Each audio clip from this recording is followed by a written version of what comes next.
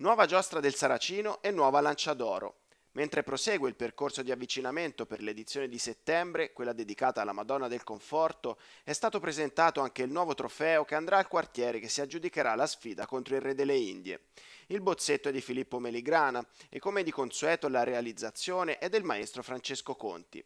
Realizzazione resa possibile dalla famiglia Giannetti e alla loro storica azienda Cadla del gruppo Despar, il ricordo del fondatore Ennio Giannetti. La notorietà di Verdi, di cui ricorre il secondo centenario della nascita, è così grande da aver eh, indotto il eh, comitato organizzatore a dedicare la lancia d'oro ad un personaggio che non ha avuto grandi rapporti con Arezzo. Egli ha avuto un, eh, il beneficio storico di poter rappresentare l'unità d'Italia, lo spirito risorgimentale, l'indipendenza del nostro popolo, la ricerca di uno spirito unitario che anche oggi, se fosse ricordato, farebbe bene. E in merito alle polemiche sollevate sulla scelta di una figura con scarsi legami alla città, il consulente storico della giostra del Saracino Luca Berti ha spiegato. Il comitato organizzatore si è lasciato questa libertà in caso di personaggi